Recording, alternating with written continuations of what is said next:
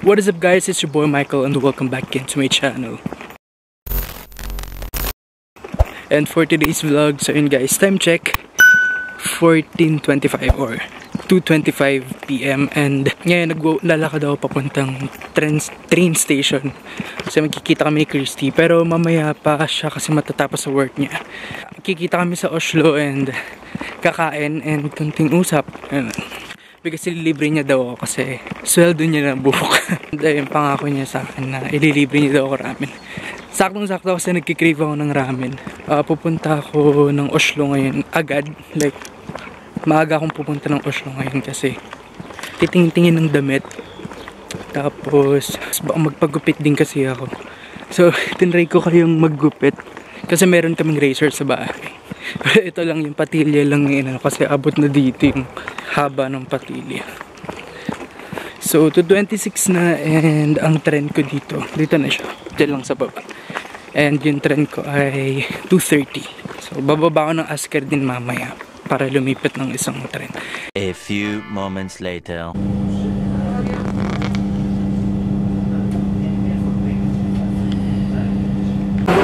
Hi guys! So, ayun guys, time check.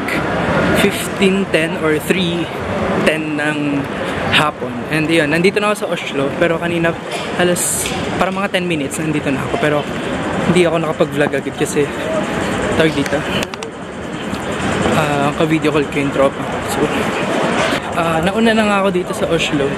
Pero mamaya pa, mag magkikita kami ni Christine ngayon ng mga um, 6pm. Kasi, yun ang tapos niya sa work niya. Kakain kami ng ramen. And i-treat niya daw ako.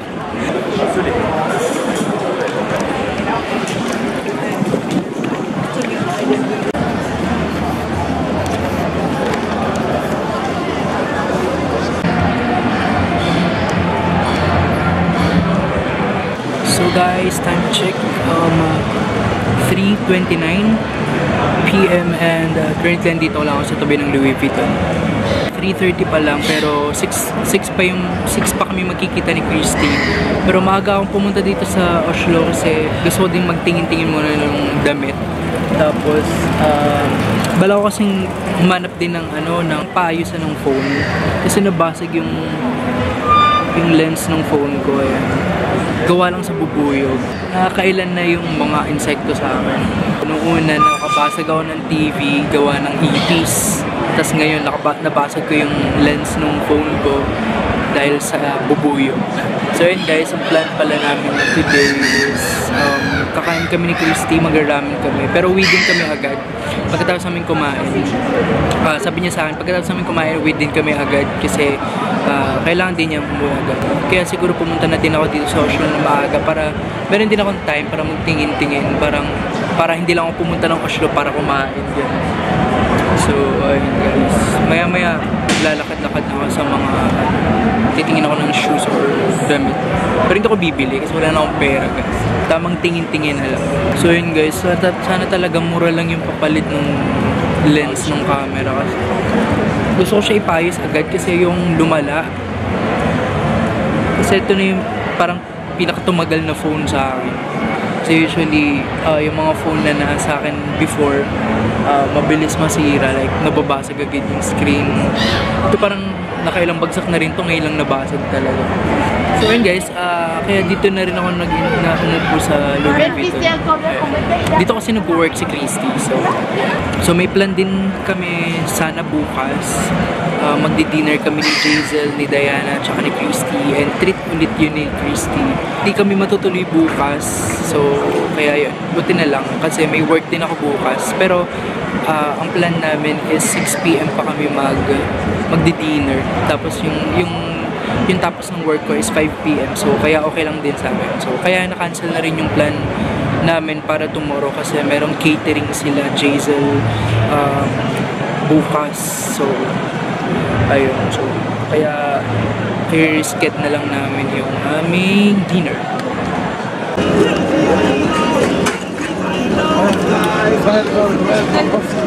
So yun guys, akala ko hindi ako makakabili ng damit. Tama kayo, hindi nga ako nakabili.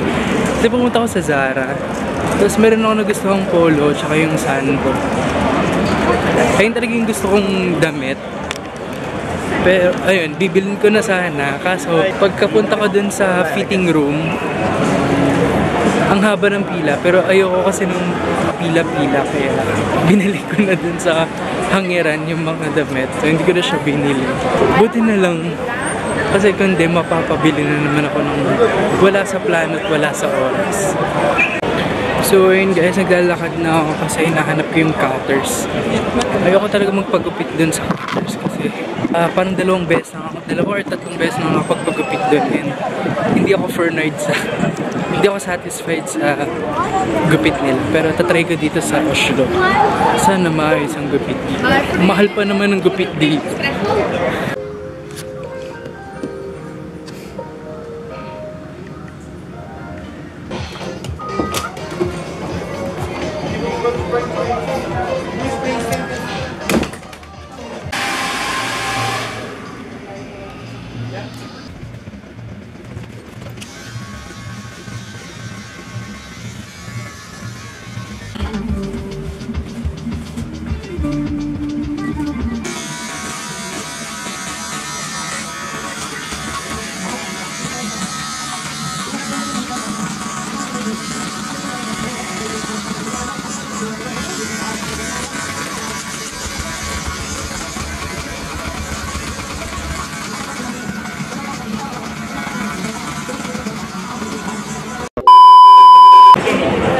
Guys, um,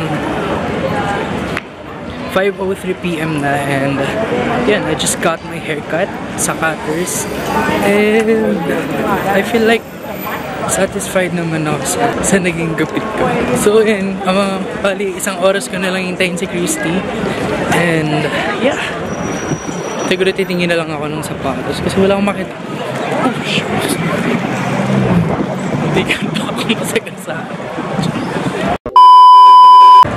So yun guys, time check. 17.59, 5.59. 6 na and pa-out na siguro si Christy. So hindi pala siya dito lalabas sa entrance siya. Diyan pala siya sa likod lalabas. So may gilid pa nung, nung Louis Vuitton. Good. Gutom na ako. A few moments later. Love you. Uh, hi guys, medyo malapit-lapit na kami ni Christy. And we're Saan using tayo? maps. Dito yun. Sa Ano? Max lang. So yun guys, nandito na kami sa Koi. Koi Ramen. Siya. Orderin namin ay mazamin. So meron siyang pork mince, white onions, chives, nori, egg, spring onion, and mento. Ano ba order? Tonkotsu. A few moments later. Um, one mazamin and one tonkotsu. Two gyoza. So this is what I got. Mazamin, gyoza, tonkatsu, Tonkatsu. and gyoza na naubos na yun. Ayan, bakit hindi pwede? Mas madami siya ngayon. Ano ba?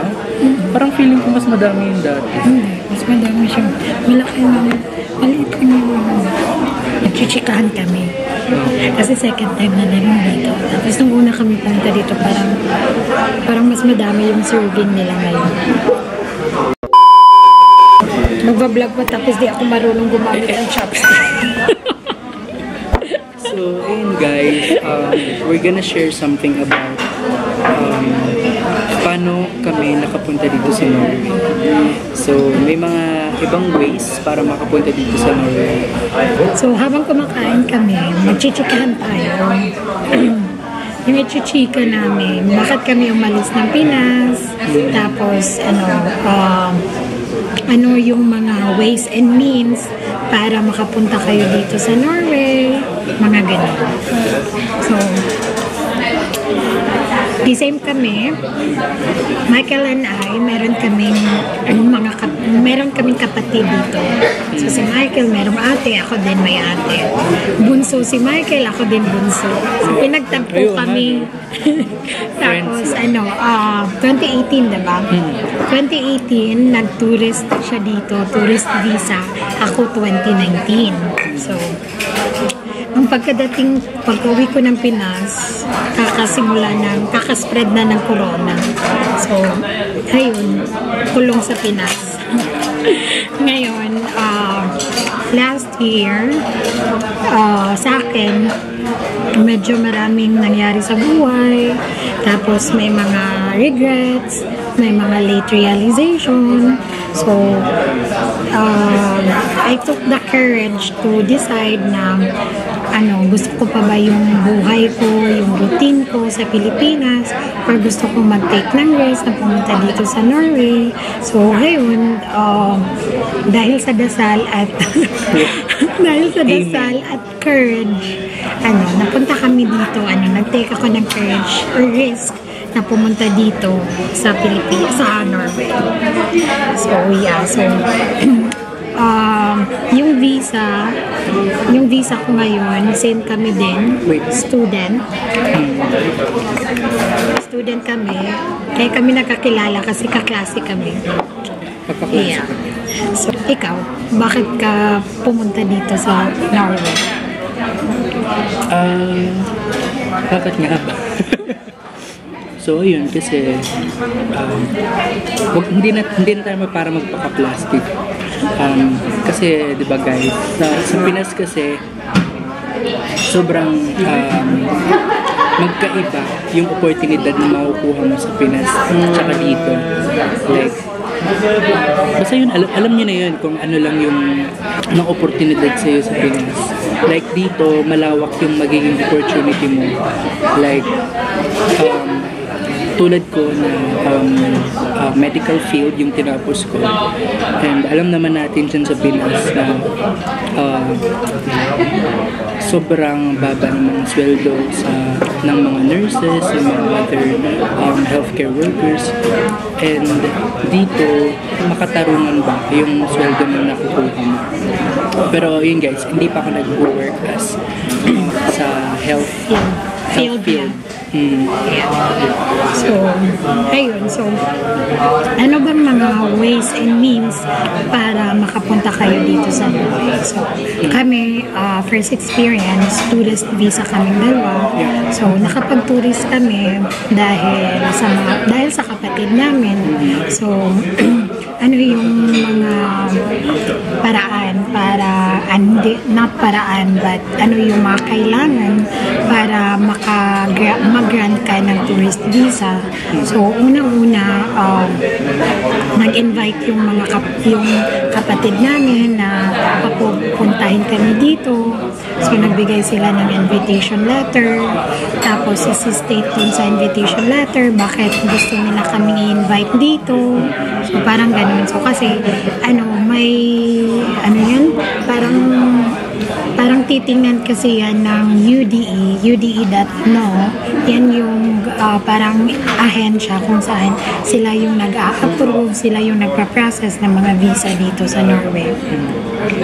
So, ano, ah, yeah, invitation, tapos titingnan din nila yung ah, sponsoring person, kung magkano yung annual income, kung makakapag ah, makakapag ah, sponsor ba sila ng accommodation namin, kung mag kung magala-gala kami, pagkain namin while nagsistay kami as tourists, kung kaya ba nilang ma-provide sa amin. So, yun yung mga ano, yun yung mga parang requirements or kukunan ng basehan ng UDE or UDI as ano sponsor kung pag invite sila ng um, kapatid or family member or jowa. Mm-mm, sa Pinas yun. Pero yung tourist visa ano lang 90 days. Yeah. 90 days. 90 days. Ikaw ba na maximize mo yung hindi. Hindi? Ay, nag-ano ka lang. hindi kasi pwedeng ano ubusin ng 90 days Ah, yung sa akin kasi parang na-maximize ko. hindi Legit ba? Kasi parang ano, pagkakatanda ko, 3 months akong nandito. 82 days lang ako Ayun, parang gano'n. 82 days lang ako.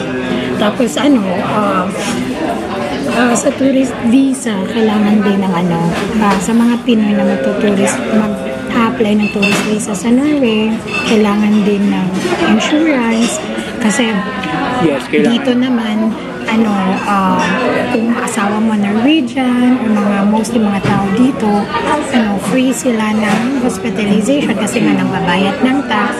Pero sa mga tourist, tourist lang tayo. Wala tayong binabayarang tax dito. So, kailangan ng insurance kasi just in case anong mangyari during ng tourist natin, during ng pagtuturis natin dito. So at least, um, assured din tayo na makakabayad tayo, makakapunta tayo sa hospital, makakauwi. Student visa. So, yun. Ako, ang ginawa ko ay, una, um, tinignan ko muna yung mga requirements sa UDE. Yung mga tanda kong requirements na pwede ko ma-share is, um, una, maghahanap ka talaga ng school kung saan ka papasok. And then, syempre, um, kami, uh, nag-intay kami kung mabibigyan kami ng slot dun sa school na yun. And then, pag nabigyan kayo ng slot, pwede na kayo magbayad ng tuition, ng show money. Um, yun, yun yung dalawang yun. And then, after nun, bibigyan na kayo ng um, acceptance letter na which is na magiging na magiging isa sa mga requirements na ipapasa nyo sa pag-apply ng visa as student. Note lang kasi ako, nat- dito ako natagalan eh. Nung ano, um, yung school kasi namin, before kami tinanggap, kailangan uh, dumaan kami sa interview. Mm. So, in-interview kami. Tapos, pagkatapos ng interview, naghintay kami ng, ng ano, result nila. So, by the way, uh, for students, um, you can apply uh, or baka sa susunod na na vlog, anong iba't ibang klase ng pwede mong pag-aralan dito sa Norway. Ayan, sa susunod na vlog na yun. Yeah. Yeah. Pero, um, note lang, kasi dito ako natagalan nung naghingi yung school ng bayad. So, of course, may admission fee, may tuition fee, tsaka show money. So, medyo malaki-laki din yun, no? So, medyo nag-hesitant kami kasi baka daw scam. Mm. So, hindi nyo naisip ko nun. So, medyo natagalan kami ng bayad. Pero of course, yung school, nabigay lang sila ng certain certain days or weeks na dyan, hanggang kailan lang kami pwedeng magbayad. Pag, pag hindi kami makabayad, wala na kaming slot. So, yung ginawa ko is, nagtanong-tanong ako. Pero yung since ako, wala akong account ng, wala akong Norwegian account. Ah. Ayun, kasi nga galing Pinas. So, yung ginawa is may dun mo ide-deposit sa school. So, may certain account ang school para sa mga international students. Dun nyo siya ide-deposit. So, And then, uh, pwede natin share sa kanila yung kung magkano yung amount para mas may idea sila. yung ano, yung show money, magkano ulit? Yung show money namin is parang umabot na 112, Hundred- yeah, 112 or 113 112,000 kroner. So, kung sa peso, siguro baka nasa 7, 600 to Six to seven, yeah. 700,000 pesos. Yeah. Um, tapos yung tuition pa na 27, 26, 27. Yeah. Yeah. Ganun. So, parang mga nasa, ano siya, mga let's say mga 7 to 800 including airfare pa Mm, so mga ganun yung mga nagastos namin ganun. Magastos hindi pala kami yung kapatid pala namin Kaya sobrang grateful din kami sa Yeah. mga Mhm. Thank you so much. yeah kasi kung hindi din dahil sa kanila wala kami dito no pero of course kailangan din namin magpagod para makapag-stay dito. Ayan. so ibang vlog na yan kung anong means and ways para makapag-stay ka dito. So, kung may nagtatanong sa inyo kung meron bang paraan para makapunta ka dito ng libre, Wala. especially sa country na to, yung Norway, na napaka-expensive mamuhay. Dahil yung cost of living, yung mga bilihin, mahal talaga. Pati yung tax. Yeah. Yung tax talaga, pero marami namang benefits na kukuha kapag Magiging Taxpayer citizen ka. ka. or Yeah. Ah, or ganun. taxpayer ka. And then, basta ano lang talaga, um, hindi siya ganun Hindi kadali ganun kadali. Pumunta dito. So, either yung iba't ibang visa na makapapunta ka dito is tourist visa, student visa, fiancé, or family immigration. So, sa family immigration, yung pagkaalam ko, um, kasi nag-search din ako noon, kasi, uh, yeah, so, hindi siya, parang bihira or hindi, parang hindi pa nangyari na kapatid to kapatid pwedeng mag-migrate. Hindi. Parang yung pwedeng ma-migrate is, uh, for example, ako, yeah, magulang tsaka anak na below 18 years old. Yeah. Ganun. And, yeah, pero hindi din madali kasi kailangan din nilang tingnan yung income ng mag, mag, yung andito na sa Norway kung makakaprovide na kasi of course hindi naman makakapagtrabaho agad yung sino yung kukunin sa Pinas so big deal talaga sa kanila kung sino yung sponsoring person big deal sa kanila kung magkano yung kinikita mo every year kung maka yung kinikita mo enough ba na makaprovide ka sa family member na imamigrate mo dito. Yeah. So, hindi din siya ganun kadali. Mm-mm. Yeah. So, kami, ano, ah, gumastos ng malaki yung mga Malaki talaga. yung mga kapatid namin. Pero uh, currently, um, well, you are a student kasi, you are also given, uh, you are also allowed to work 20 hours per week, right? Yeah. Or Pero kung in total ng isang buwan, 90 hours. Yun na yung 90. over, mga ganun ba? 90 ba? Or 80? 80. Basta mga ganun. 80 yata. May specific um, uh, hours lang na work mo. Oh, hindi ka pwedeng lumagpas, especially kung pwede kang lumagpas sa 80 if holiday. Holiday, So like ngayon, ganun. summer ngayon, so pwede kaming lumagpas Yeah, na walang more school, than 80. walang yeah. school. Kasi, um, pero kung during school days, ano siya, 80 hours ka lang. So, pa, um, paano nila malalaman na 80 hours ka or more than 80 hours ka? Kasi, uh, system, may, may system sila dito. So, not un, unlike sa Pinas na pwedeng pwedeng more than or ano, hindi malalaman. Pero dito, may system sila kasi ano, uh, malalaman ng SCAT kung magkano yung napasok doon sa account mo. Connected kasi lahat. So, ayun. So, grabe. Tapos, ano, kahit student ka, kailangan mo din magbayad ng tax. Tax. So, currently, yung tax ko, same kami na iba kong kaklase, 25%. Mm. Pero ako hindi ko sure kasi kung 25 or 30. Pero kasi parang ang tanda ko dun sa nakasulat sa... May nabasa akong paper ko na 30% yung tax ko. Pwede mo naman siyang i-adjust.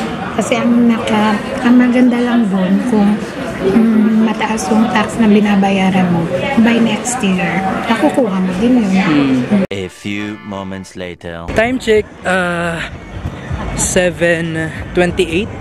Yeah, pero And- ang liwanag pa. Maliwanag pa.